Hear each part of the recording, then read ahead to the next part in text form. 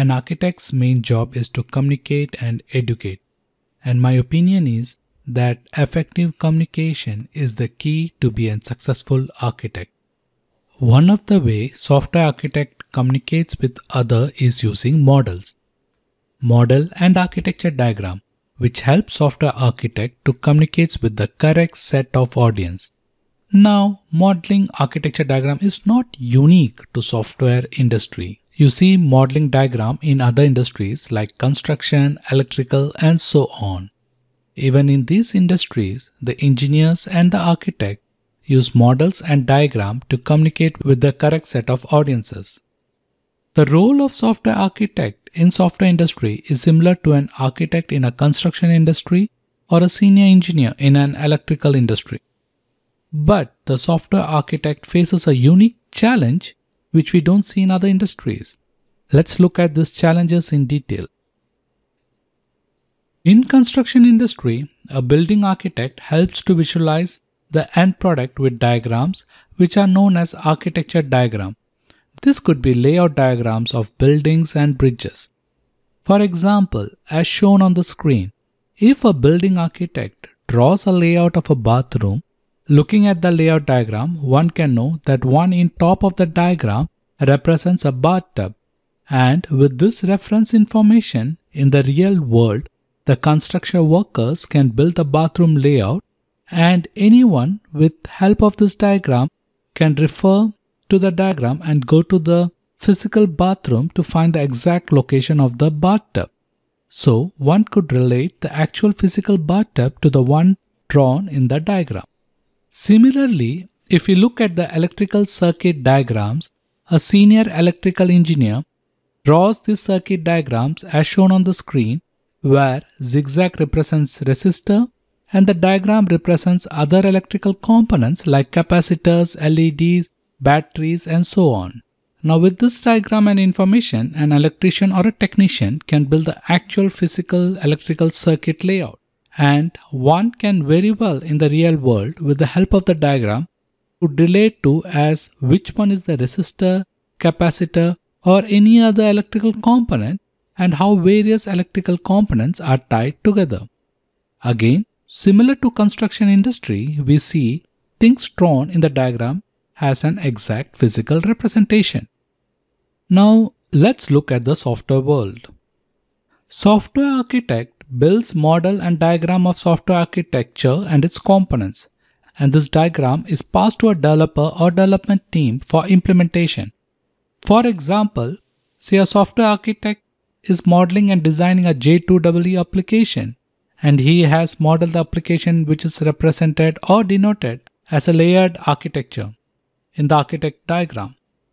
And once this architecture diagram of layered architect is handed over to a developer, for a Java developer, layer does not mean anything. As in Java language, there is no layered keyword. The developer need to use packages, namespace, folders, subcomponents, hierarchy of classes to implement the layered architecture. So you see there is a gap between modeling and diagramming that is built by a software architect and how it's implemented or coded by a developer. There is an ambiguity. This gap in software industry is often referred to as model code gap. So software architecture modeling is different from what we see in other industry. As in those industry like a construction or electrical, what you draw has an exact replica or a concrete reference to the material in the real world, whereas in software industry it's abstract. And this poses a challenge for software architect, as what's the best way he or she should model software architecture so that he could communicate his thoughts and design to other audiences in an effective manner. Continuing with the discussion, on the challenges of software architects face during effective communication of what they model, let's look at one of the software architecture modeling diagram used in software industry. And here you see an example of component diagram. I got this diagram from wiki. Now component diagram is representation of various components that build a system. It depicts how components are wired together to form a larger components of a software system. But what is component? For example, from this diagram, we can see COTS, which refers to commercial out of the shelf, represented as a component. Web services again represented as component. Thick or thin client services again represented as component. So if you look at the diagram, definition of component is not clear from a technology perspective as what is component. It could be a web service, client apps or COTS. Again, it's ambiguous. Also, if you Google software architecture diagram, you will get pages and pages of architecture diagram as shown on the screen.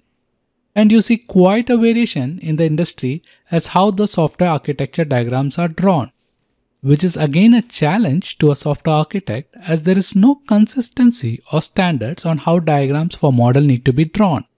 So, as you see, as a software architect, we have a quite a few challenges when we want to effectively communicate to our correct audiences using model.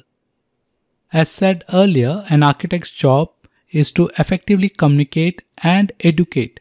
As an architect, one of the way we communicate with others is using models.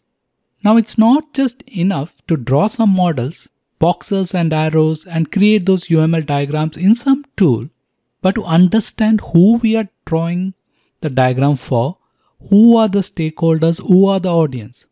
So in this course, we will be talking about modeling in UML and what does it mean to an architect.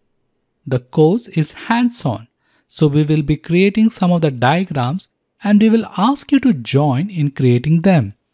We will also look at why we model, to whom we model. So we will touch about the importance of audiences and stakeholders. Now who will benefit from this course or to whom this course is targeted to? If you are an engineer, developer, senior engineer or senior developer who like to venture into software architecture path, or aspires to be a software architect, or if you are already an architect, this course is for you, as it will teach you how to be an effective communicator or storyteller in software world using models.